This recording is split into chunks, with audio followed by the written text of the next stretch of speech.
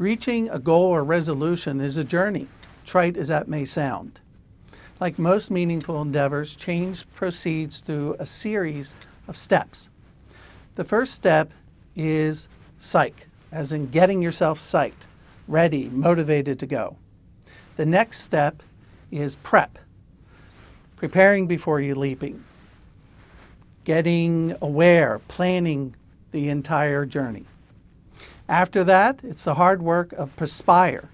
You're actually implementing the new behavior that obviously takes lots of effort. Now, getting you there is wonderful, of course, but we want to keep you there.